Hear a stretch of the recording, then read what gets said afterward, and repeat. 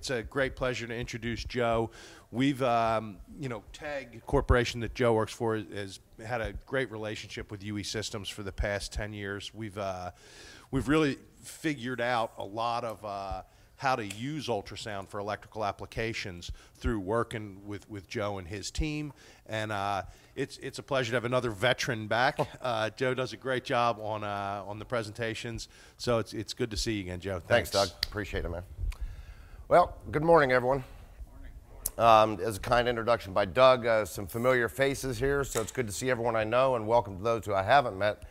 Um, I'll start off by saying I do not know everything, and, and that's obvious. Somebody said it the other day if you don't learn something new each day, then you better find something else to do. Well, I really believe that. And when it comes to uh, electrical applications, I know it's a very popular subject out there uh, throughout industry. I've saw a couple presentations this week where uh, folks want to get into this and start doing it, and folks uh, are doing, uh, to some varying degree, electrical applications in their travels. One benefit that I have is our organization consists of an international network of electrical contractors. So I got the good fortune of having probably six or 700 technicians out there in 23 different countries who send me WAV files all the time and we work with in the field. Uh, some are problems, some are not. But, you know, I, there's an old saying, uh, who's heard the saying that says practice makes perfect? That saying is not true to me. Huh? Well, true. Or practice makes permanent is the way I like to say it. And what I mean by that is you could practice something all you want, but if it's the wrong way of doing things, it's still the wrong way. And that becomes permanent. So, it, uh, from my standpoint, being a support liaison for our uh, organization and, and our customers, I get to see a lot of these files that I might not otherwise get to uh, take a look at. And I've learned a lot in 10 years. I mean, you know, the good folks at UE Systems really helped springboard us into this, and had a lot of heart, uh, help from Mark and Gary and Doug and, and uh, the, the other guys, so I'm fortunate there. But we learn from each other, as Doug said, and that's very helpful. So, what I do know, I'm going to share today, and uh, based on some of my experiences, one of the most popular things I see in my organization and even at this event is spectralizer and how to use it and what does it mean and how does it play a role in the electrical side. So for my benefit, uh, just show of hands, how many people are in fact doing electrical applications with ultrasound? Okay? Not a very large percentage. How many of you regularly use the Spectralizer software for analysis? Gary, I know you do. Excellent. So there's something to learn for everybody here. And, um, you know, I still get tips from Mark all the time on this stuff, and I'm going to show you what I uh, kind of how I go about analyzing things. And for those of you who have computers, uh, you should have got a memory stick with a folder of different waves that I've received over this past 12 months. And basically, uh, we're going to start off and I'm going to show you how I set this thing up and what I'm looking for for the different faults. And then we're going to play, you tell me what the problem is if it exists for the wave files I've provided. So they, you know, this will make some practice here uh, based on these basic tips. So when I open up Spectralizer, uh, by default, you get the full range on the relative dB scale here on the left. And on the bottom, it defaults, what, 0 to 4K, I think? And for this particular application, that's too wide of a range on the frequency. Uh, for my purposes, I will always rescale this and leave it locked at about 900 to 1K on the frequency this relative scale right here, what's the correct setting on that? Well, it depends on what I have for recording. I mean, the right setting will be where I can analyze this best. And uh, there's a couple things I do to make it easier for me from the analysis standpoint. The other important thing is on top where it says the number of samples. And everybody who uses this probably knows that um, you have a number of different selections here. And when you open this up or install it out of the box, it defaults to 4096. I personally prefer the 8192. Yes, sir. Oh, thanks, Mark. So by taking more samples and stitching them together in the FFT display, you get resolution on what you're looking for. And there's some important things relative to electrical faults that you need to see. And the lower resolutions don't have enough samples for me to definitively um, identify what I'm looking for. The higher samples can make false positives.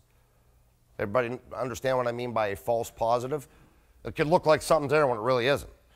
So the happy medium I found through experience is 8192 on the number of samples. Now, the two tools that I use, and I really got to get better with the waterfall because I've been working with that, but I'm not confident enough to talk about on it today. But in electrical, there's five or six things we're interested in. Everybody knows the basic ones, right? What are the faults in electrical systems? What kind of faults do we see? Arcing, corona, tracking, partial discharge, that's right, within insulating systems, and I'll talk a little bit about that later, and mechanical faults. We have vibration, we have looseness, uh, we have separation, missing components, things like that. All of these different faults, and, and those of you who have been here the last few years, I've done several papers on this, and I call it um, uh, spectral footprints. Every one of those faults has a footprint that I'm looking for. And no uh, two faults of the same type are exactly identical in either the FFT or the time series. But what's proved to be effective to me is if I can find enough of those um, basic similarities that I'm looking for in a footprint, then I can usually make pretty good judgment calls uh, with a high degree of confidence. Okay? So that's kind of how I set this up before I do anything else. The time domain we'll get into here in a little bit. So one of the most popular faults I see all the time is tracking. It's more common to me than arcing because what does arcing represent? It's already in failure, isn't it? And Mark, I remember the first time I took a class with him, he said, if you hear this, you better run. And I agree with him because it is failing right before your very eyes. You know, sometimes you're fortunate enough to uh, capture it. Other times it lets you know it's there through a failure. But tracking is very popular. What exactly is tracking? Sorry? High resistance path. Or it doesn't even have to reach Earth yet, does it? Basically, it's a discharge of energy along an electrical insulator at first. And, you know, what would cause that? Contamination, moisture, uh, the integrity of the insulation being damaged, things of that nature. Always a byproduct with tracking if it's happening. Anybody know what it is? What does tracking leave behind? Well, that's, that's on corona. We'll talk about that shortly. Carbon. Is carbon a good electrical conductor? Very good, isn't it? So there should be some visual evidence if tracking has taken place, right? Not always. And depending on where it's taking place, it may be obscured from your vision. So really the ultra probe becomes not just your ears, but your eyes in a lot of ways when a visual inspection is impossible. There are some key things about arcing in both the frequency analyzer and the time domain that I personally look for. And I'll start with the FFT because I've said it in papers gone by and, and you've heard it many times. You can't use just one tool or the other and be effective. It's impossible for, for this application. Now, maybe it's possible in some other applications, but not electrical. What should we see if, if I have a fault that is electrical in nature? What would you suspect the footprint on this frequency analyzer would be? Sorry? There will be line, multiples, some uh, uh, uh, frequencies that are multiples of the line frequency. That's right. If it's a fault, we're going to see fault frequencies. What else? Well, you hear it called a couple of different names. I think what you coined was frequency noise. And what I mean by frequency noise is the content or activity that's going to take place in between each one of these harmonic markers right here. So those two things are what I'm going to be looking for in the FFT. Do I have frequency peaks to some degree? And do I have an elevated or abundant level of frequency noise in between the harmonic markers? Now, I mean, invariably the question comes up, well, how many frequencies? I don't know. It depends. Because I can't go just by the FFT, I have to go by the tonal quality of the sound I've recorded as well, right? because everything we hear, we can guess without uh, using this what the fault is or if it is in fact a fault, right? Our ears would never deceive us, would they? Do you think things sound similar that can be dramatically different? I've seen that and I'll show that to you, but also there are things that can look very similar that are dramatically different. So we have to use everything at one time when we talk about a fault. Uh, a couple of years ago, I think it was the 2010 conference, I did a paper on um, what was it called? Electrical equipment screams for attention. Anybody remember this by chance? so I gave a lot of examples and played some files here, but I thought just to start out before we start playing, we'll go back and revisit this and show you kind of my approach when I get a suspicious recording. This lineup of equipment here, if you remember, was a unit substation on the sixth floor of a hospital in Charleston, South Carolina.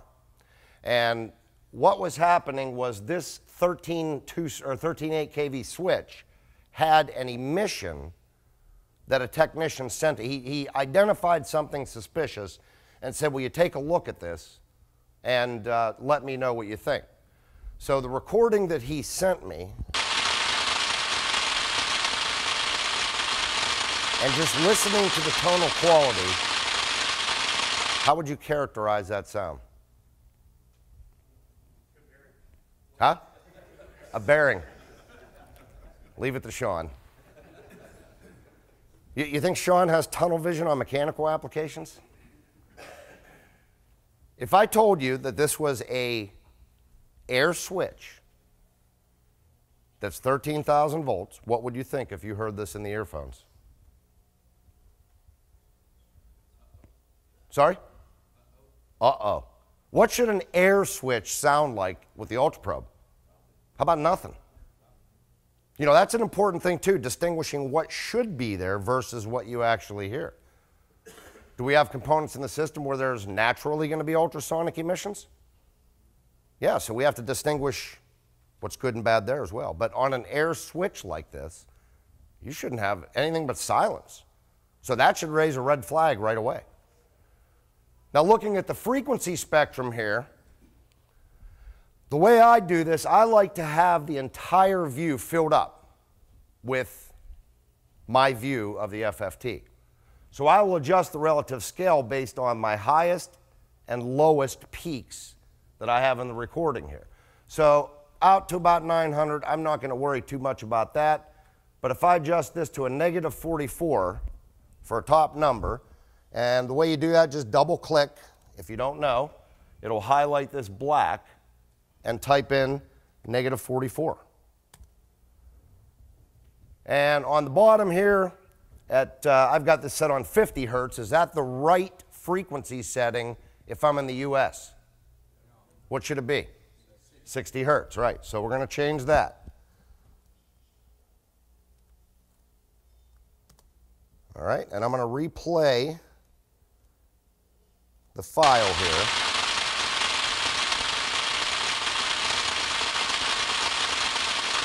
All right. What can you tell me by looking at the frequency spectrum here set up in this fashion? Does anything stand out? I'm sorry? There's no 60s out here, right? But if I come further out in the spectrum, I got a couple right there, don't I? And one more right here. That's way out in the spectrum, isn't it? There's a couple of 60 hertz harmonics. Nothing in the beginning, though, right, Gary? What else is noteworthy about this? I'm sorry? Well, the amplitude is an interesting thing because here, that really means nothing to me. On the time domain, different story. We'll talk about that in a minute. But more, more specifically, what's going on in between? There's a lot of frequency content. Does everybody see between every harmonic, there's a lot of activity right here, right? Those two things right there are the footprint I look for that tells me one thing and one thing only. Anybody want to guess what it is?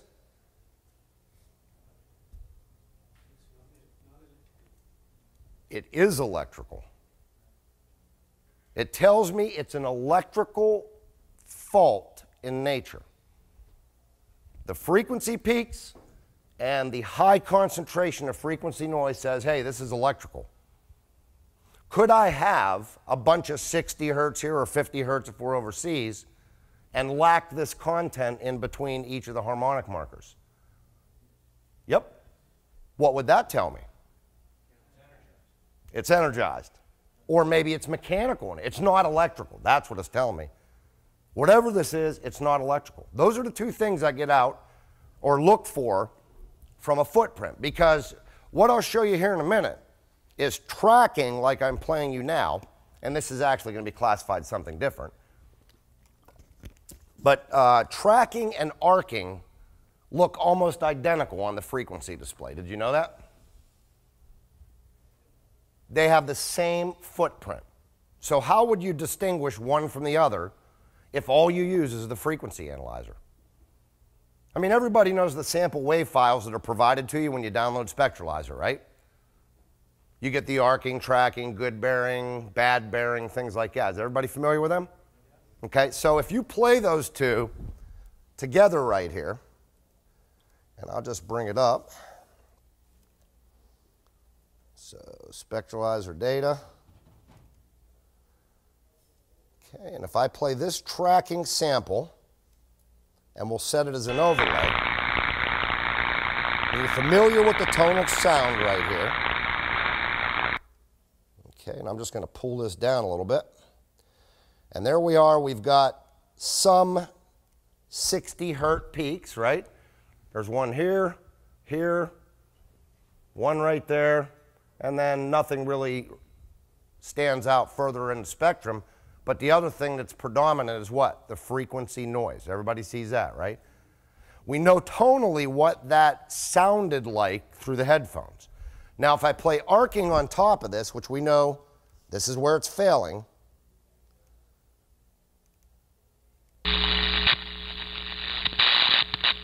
totally different tonal sound, right? But looking at the spectrums, and I'll adjust this just to make sure we can get both of them in the view. I'm going to change this minus 58 to a minus 65. All that does is condense it a little bit and allow me to see both frequency spectrums for both recordings, right? What does the arcing have down here that's the same as the tracking? Frequency noise looks almost identical, doesn't it? And we've got some 60 hertz harmonics that are hitting on the markers, right? So which one is which if that's all I did was show you this? Could you figure it out? Because if you can, I want to know how. I ain't been able to do it. This is one tool for me that tells me it's either electrical in nature or it's not.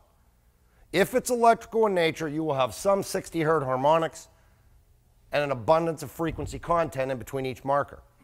If those two things are missing, it's not electrical. Does that make sense to everyone?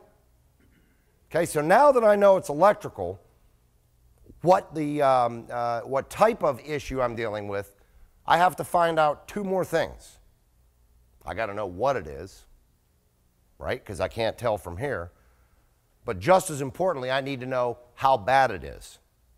Is that important to you? Severity is a key thing, isn't it? Because somebody said the other day, you always get asked the question, well, when's it going to fail? I always say, I'm an electrician, not a magician. I don't have a crystal ball. But we can be somewhat predictive here in how bad it really is. Because uh, I think, Tim, you said it, you know, I think it was you or Chuck that said you cannot let the equipment dictate when you repair it. If it does, it's going to cost three times as much and take 10 times as long to do, right? so I need to know how bad this thing is, but I also need to know what type of fault I am looking for. Once I prove this, I'm going to move over to the time analyzer. And when I come over here, I'm going to go ahead and play the tracking again. We all know what this sample file looks like. But my question to you, how would we characterize what we see? What can you tell me about this um, spectrum here that we're looking at, the full or the uh, slice of it here, about 900 milliseconds. What stands out? Very uneven. Does everybody understand what that means? Now amplitude is going to play a role here. Is the, um, uh, the depth of each one of these excursions uniform across the recording? Not at all. And if you look at the entire six and a half second recording by double clicking the stop button, you can see there's clearly differences in the peaks and valleys of those. I call them excursions. I mean, call them what you want. My, my term is excursions. So, what does that tell us about something electrical in nature? If I see these peaks and valleys here, what does that mean? Louder and softer. So the intensity of the discharge is not constant, is it? Some discharges of energy are higher in intensity than others. The other thing that it tells me, or that I need to find out on here, which is key to severity in my opinion, is how frequently are the discharges occurring? Does that make sense? I mean, tracking is tracking, arcing is arcing. What makes the difference is how intense it is and how often it's taking place. Because you can have dramatically different faults, and I'm going to play that transformer arc here in a second, or trans, uh, that we talked about to demonstrate this. But how can I tell what the frequency of the discharge is? Any ideas? What would I do right here to look at that? I need to magnify the view a little bit and slice this time down. And my preference, this is just me, you can find what works for you, but I like to see between a quarter and a half second sample of the recording. From an electrical cycle standpoint, I mean, we talk about 50 hertz overseas, 60 hertz here in the Americas, right? What does that mean for the non electricians? What does 50 and 60 hertz really mean? Cycles per second. So, on an alternating current system, you have a, um, a sine wave that changes polarity from positive to negative, positive to negative 60 times every second. So when it comes to these faults, if you can, uh, if you can relate the discharges of energy down to the electrical cycle level, it helps to understand what we're seeing in the time analyzer a little better. And back in, God, it was 2005, I think Mark and I were over in Australia together. He put together a good graphic on this, and I used it in a paper a couple years ago. But this is what an electric sine wave looks like, right? So 60 times every second, you have this thing changing polarity. Now, on a normal sine wave with no noise, no tracking, arcing, you would not have any, I'll call it a wave shape altering at the cycle level. When the discharge of energy occurs, one electrical cycle is the equivalent of 16 milliseconds. So with this tracking that we just played, is it a, a, an intermittent event or is it a continuous event that's taking place in the recording?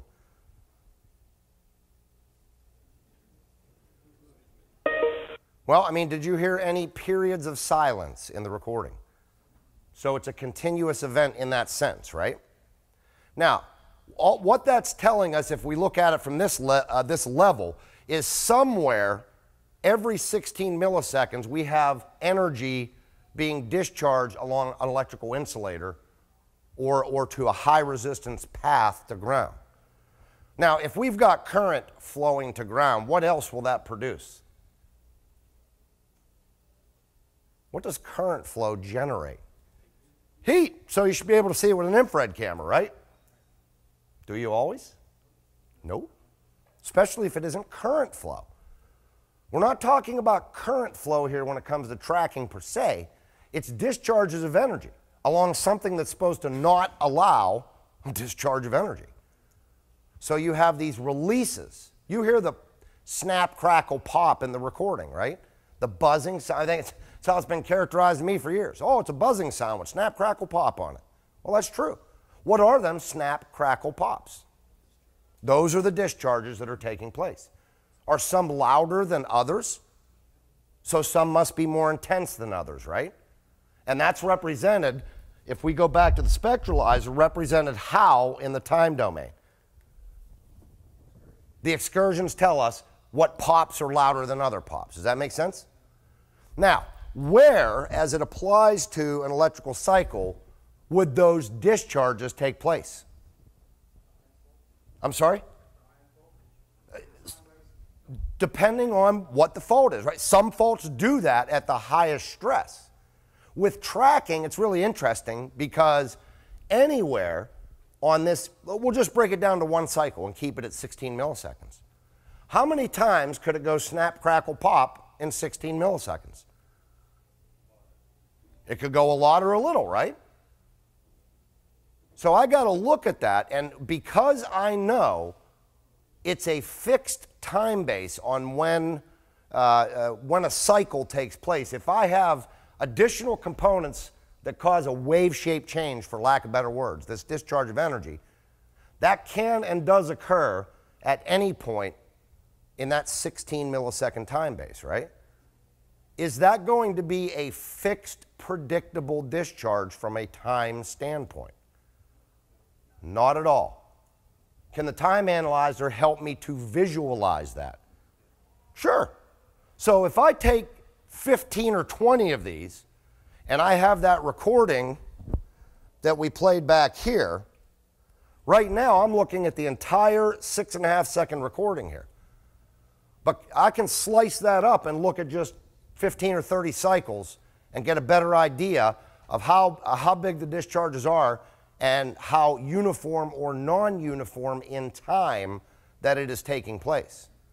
See, the thing about tracking and arcing, it's not predictable from a time standpoint. I mean, we'll get to arcing in a minute, but tracking, even though it's a continuous buzz with a snap, crackle, pop, those snap, crackle, pops are not taking place at equal times on the sine wave predictably. Does that make sense? It, it's very random when it happens. And the only way we can see that is to use the time domain tool to look at the spacing in between these discharges.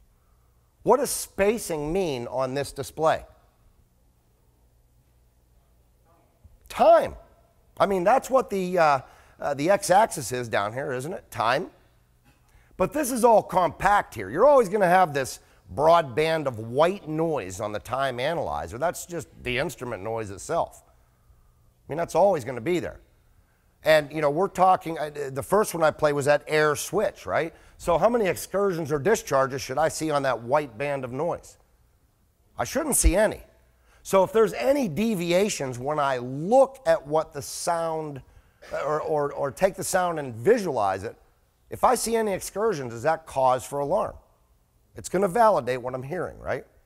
So, I'm going to use the tool up here. You have several magnifying tools where you can slice up this time analyzer. And if I come in here, I, I, like this middle top tool here where you just take and cut a whole piece of it out. My preference, you can choose what you like. but if I pick a point in time here, I don't know, I'll just grab this. And what we see now is I've sliced it up from 4.7 seconds to 5.4. So this is what? About a 0.7 second view of the recording, right? And I can get some ideas here. I know that the amplitude is changing throughout the recording consistently. That's a key thing for tracking, right? It's going to be consistent. When we look at the time analyzer where you have uh, changes or variations in these excursions, that's a footprint. Does that make sense? There's no periods of silence through the entire recording. And when we look at the discharges of energies, they're not uniform in, in uh, intensity or time. That's tracking's footprint. I mean, if you can characterize it and then visualize it with here, the next step is going to be to do what for your boss or your customer? I'm sorry? Well, look at severity. That's right. How frequently is it occurring? I'm also going to want to report that back, aren't I? How many people have used the report feature in Spectralizer? I know Gary has. Not many of us, right? There's a great reporting tool in here because the bottom line is this we got to put a picture on a sound. We agreed right at the outset all these sounds that we hear and what we record, can your ears be fooled? Can you think it's one thing and it's really something else? I know that's happened to me. Without visualizing the sound, there's no way you can be sure or communicate that to either your supervisor or your customer. So we got to put the sound in a visual format that can actually explain what they're listening to. Does that make sense? Okay, so if I've got this picture in front of my customer, I can play them the recording and they hear what they hear, right? But then I can explain to them, okay, this is the type of fault we have going on, and here's why. When you look at tracking, what am I looking for?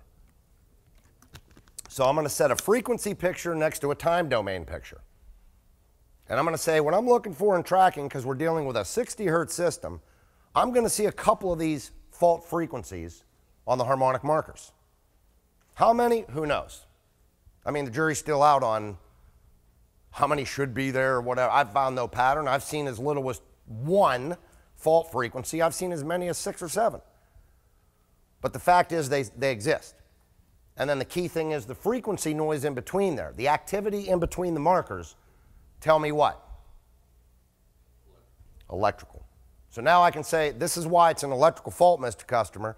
And then I move to the time domain and I put the picture on what it is, how bad it is, and how frequently the discharges are occurring.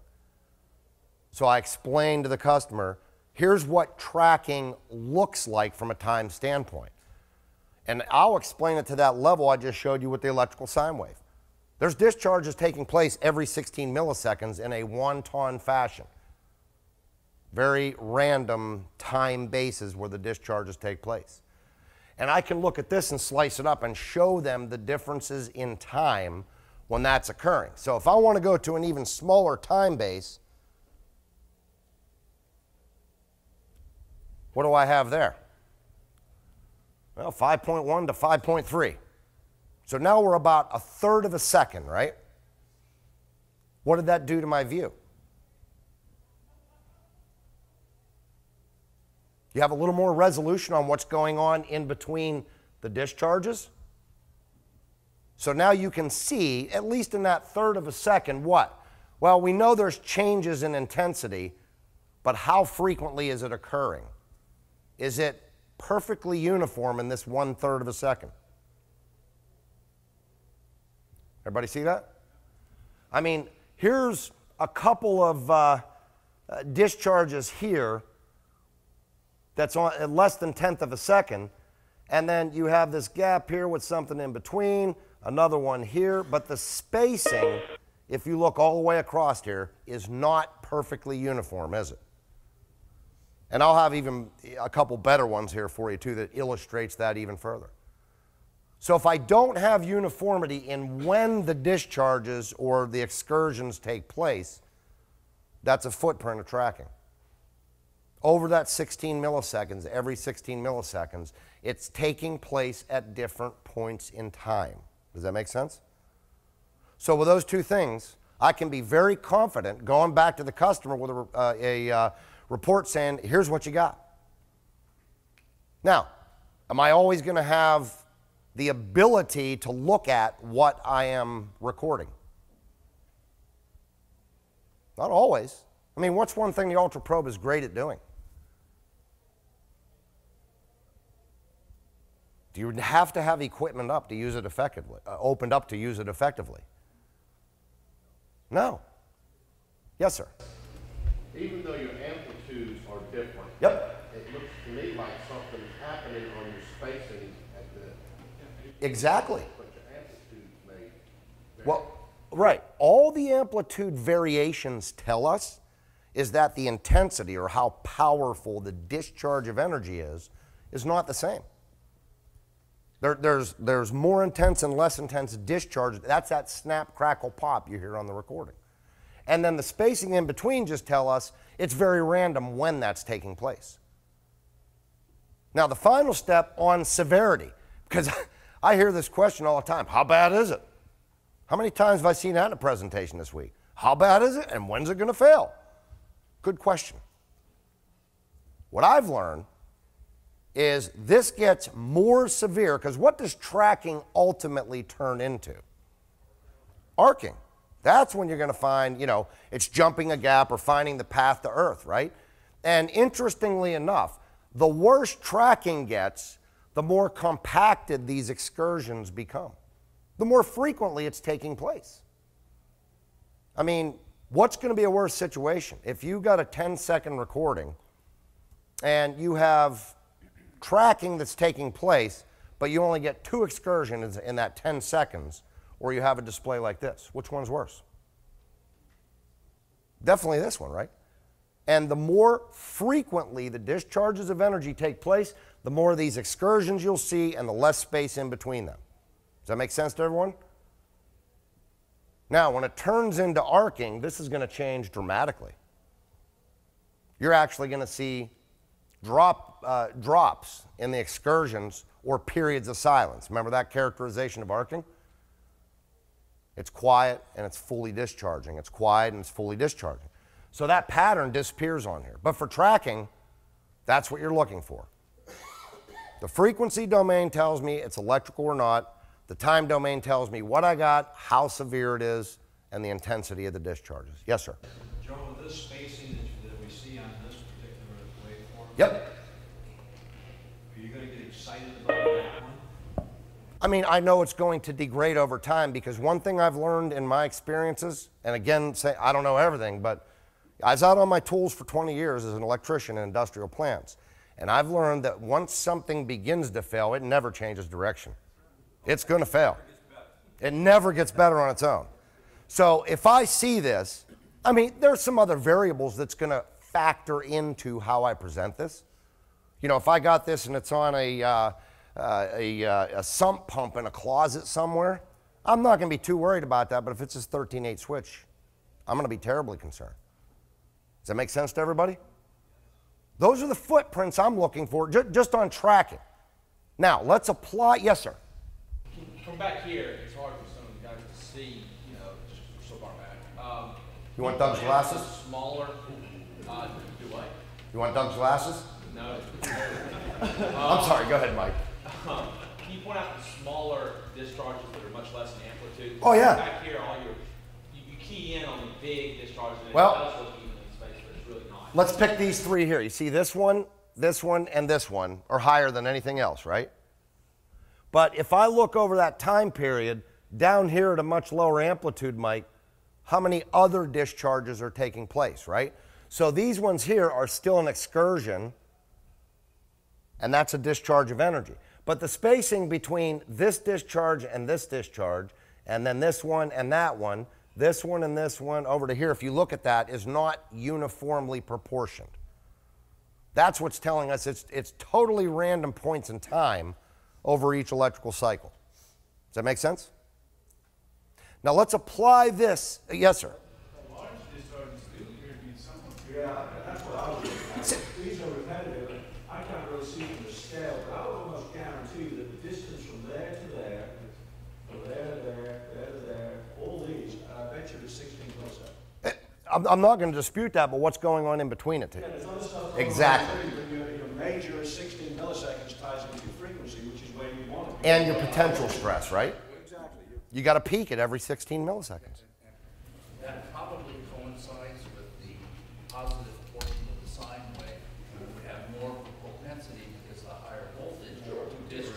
Yep. That, that gives you your initial discharge. Exactly. And then The, the carbon formation and what have you is the, these secondary discharges, which are very random in nature. which is better than that. Exactly. That, that's a good way of putting it. Thank you.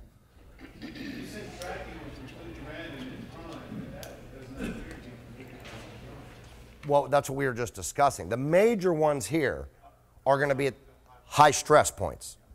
But in between each peak, there's a bunch of junk going on there. And you can hear that. And this stuff in here helps. None of this in between the major ones are uniform in time or amplitude. And that's the key thing right there. So it's almost like the, the- the sixty hertz is triggering Right. the start of the initiation of the event, and then the tracking just follows randomly after. That's right. I, that's how I'm going to visualize it. Does it make sense? Okay, so this, this actually works pretty well.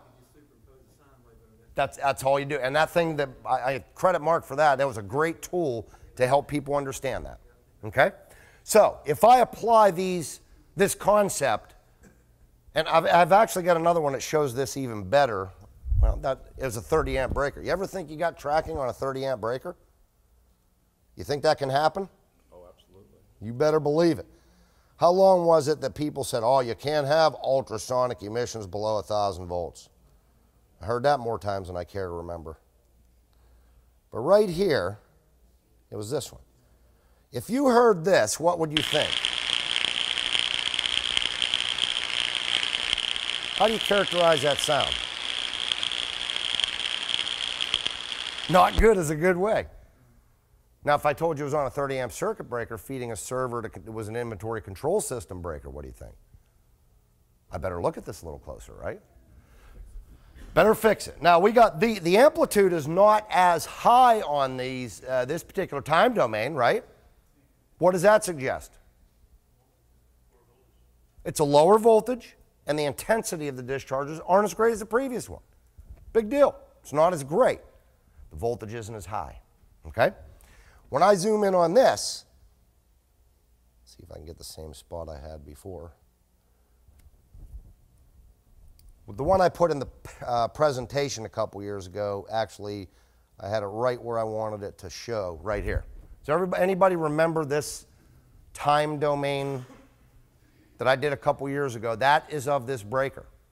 And when I slice this up to just a quarter second, to me, it clearly shows the differences in time across this quarter second. This is 15 electrical cycles. Not only is there differences in amplitude, but look at the spacing between the major ones, such as this big one over to the next larger one, and what's going on in between here, and then all this junk in there. There is uh, absolute differences in the spacing. Is that tracking to you? based on what we just talked about a minute ago? Tells it to me every time. I mean, I thank God for this tool because without it, how would you be sure? And tracking is the most common one. That's why I'm spending time on it. So let's go back to that first file I played you on the uh, 13.8 switch. What we heard was this.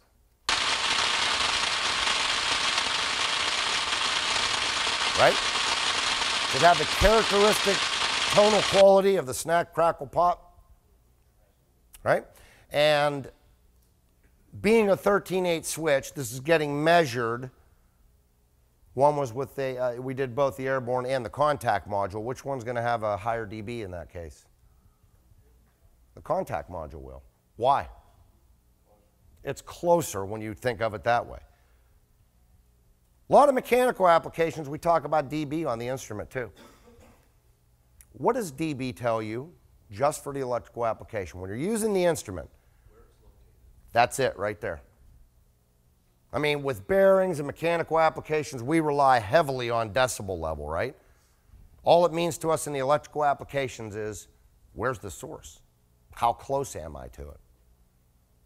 That is an important thing to remember. Because, you know, I've had guys that, um, uh, you know, say, oh, well, this dB increased to this over this period of time, therefore it's getting worse. No.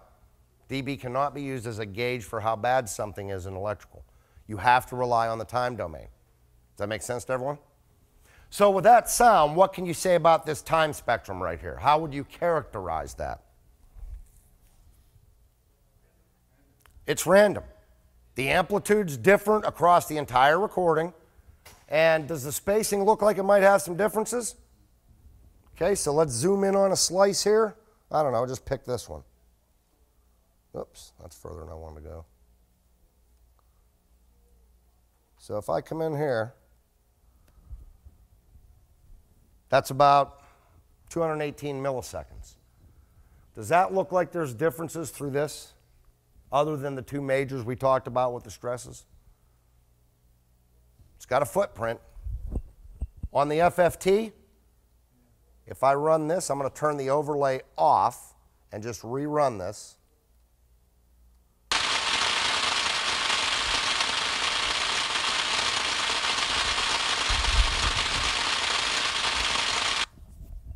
What do you think about that frequency spectrum?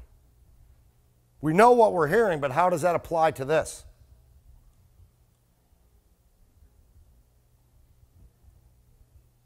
Does anybody see anything that sticks out?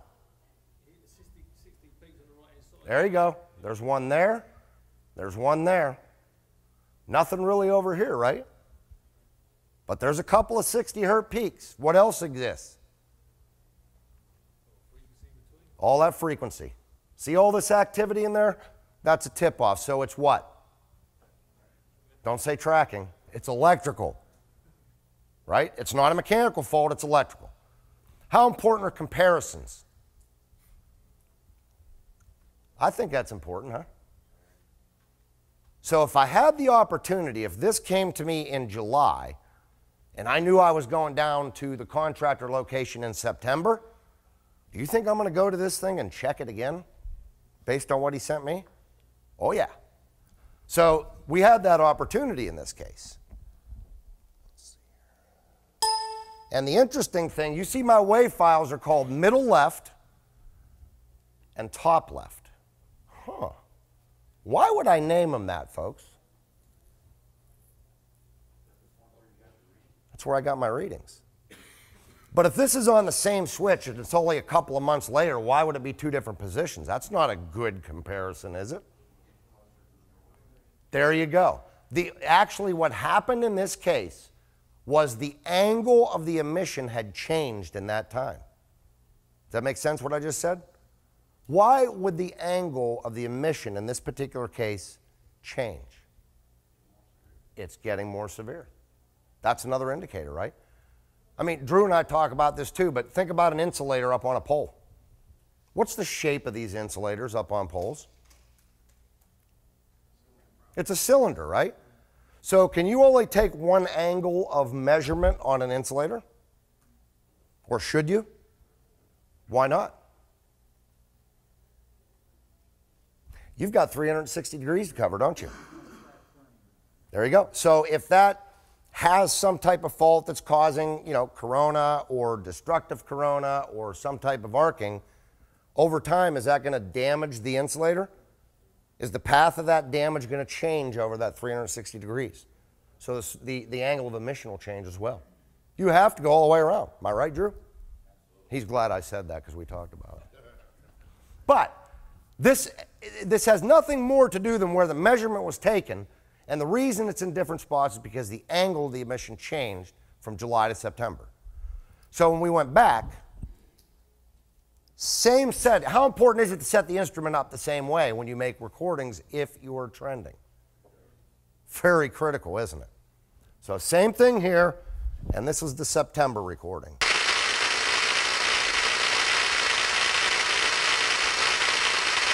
Does that sound totally different? What's the biggest difference on that? Now you got this hitting, right? Everybody see that? One here, one there. Come out here, there's not too much, so it's shifted down here a little bit, hasn't it? A lot of noise still. And it's easier to show you from the old PowerPoint slide, and you have this in the proceedings manual. But if I go back to, um, let's see, it's up here.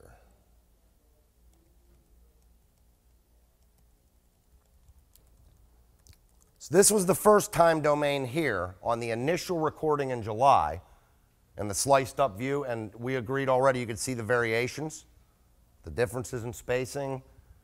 If I go to the one that was made in September, that's the time domain there.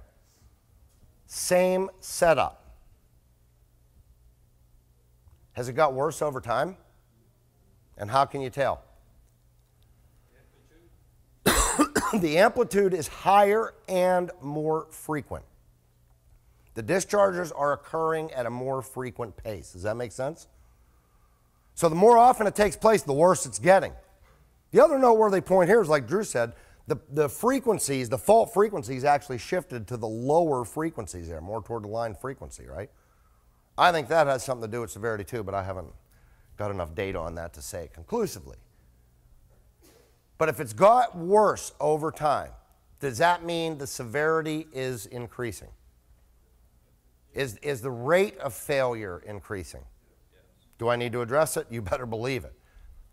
Yes, sir. The reason you're seeing the harmonics in the FFT now is because you're now in a situation where the event has become quite repetitive, as you can see there. Yep. So good old Fourier, you can see it, and it gives you nice 60 hertz peaks. More predictable, right? Early stages, it's not a, well, it's very slightly repetitive. Right. Fourier can't find it, so therefore Fourier will give you weird higher harmonics, and that's just the math. There you go. And it's right. It's the, the algorithm that's being done.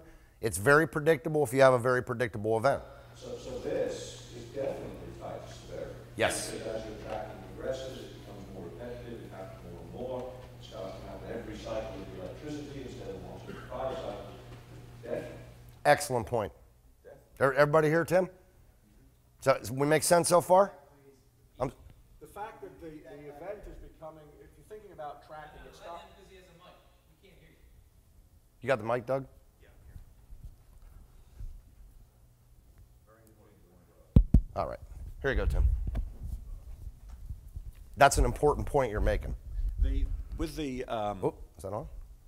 Yeah. yeah. With the, uh, the initial reading, tracking is a very random event. It's a bzz, okay?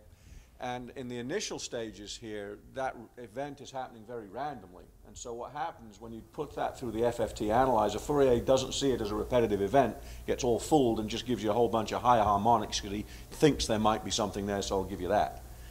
Once you get to the later stages, now the, the, the, the, the defect has progressed further.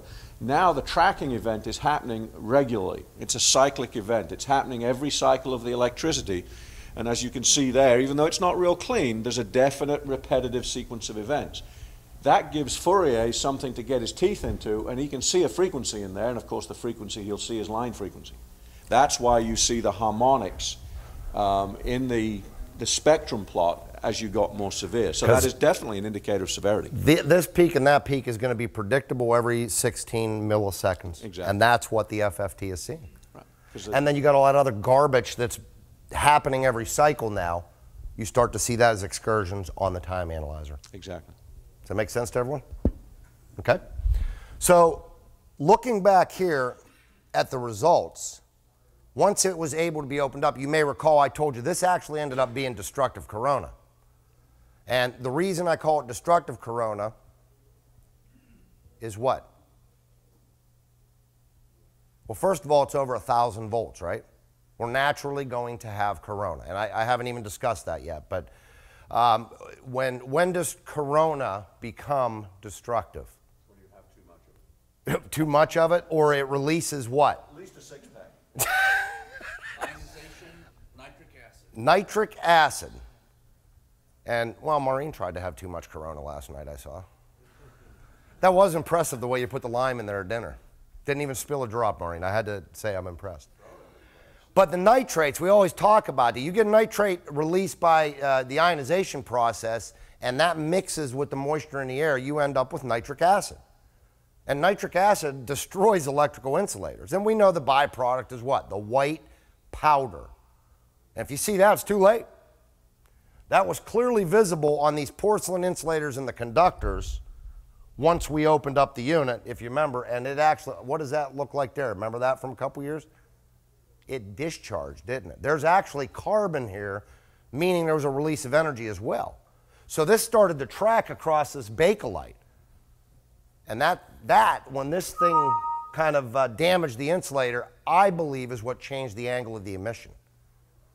Because that's where it was highest intensity. Wherever the dB level is highest, that's where you know you're closest to the source of the emission. Okay, so does that make sense on tracking so far? Now, how do you report this? Well, it's been made pretty easy recently. Once I have either of my um, tools set up the way I want them, and with FFT, what I like to do is always have at least one overlay on there with a known sample.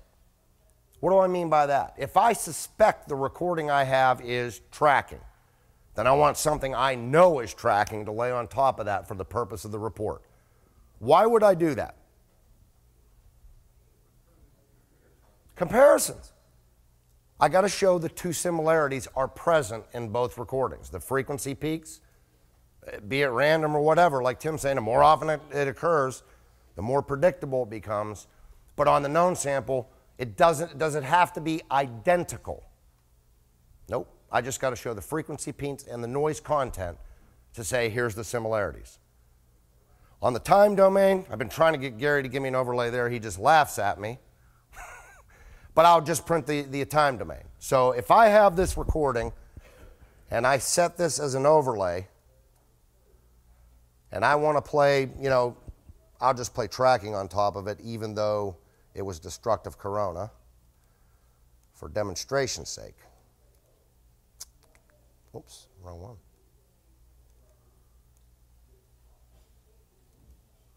So if I play this on top,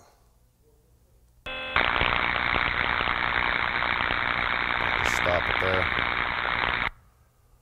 Maybe this is the view that I want to present to the customer, okay? Down here in the uh, lower right hand corner, you have this check box or tick box, depending on where you're from, that says graph only. Anybody use this yet? I love this. What it's going to do is allow you to export a JPEG image of just this view. For my purposes in the electrical application, I don't need all the other information on the Spectralyzer. It's not important to me for this. So if I select graph only and I say um, export this plot to a, um, oops, wrong thing. I thought that had the file on it. Where'd it go? Huh? I don't see it. Yeah, it, may, it might be. So let me see here. Is it the far right? Wonder why I can't see that. It's the projector. Okay, well, yeah, it's cutting my, my view off here too. But there's a button that says to file. And when you select that, you can name the view and export it to a file.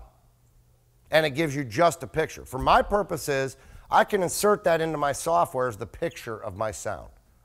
Does that make sense to everyone? And that's very important to do for both frequency and time. Okay? Now, yes, Doug. I was just gonna suggest when we get to a good point. Yep. I, I was ready to do that because I was going to say, if every, is everybody okay with what tracking is, the footprints, how to set the Spectralyzer up, and what to look for? That answers some questions, I hope. It's, it's probably the most common fault I see, especially on low voltage systems.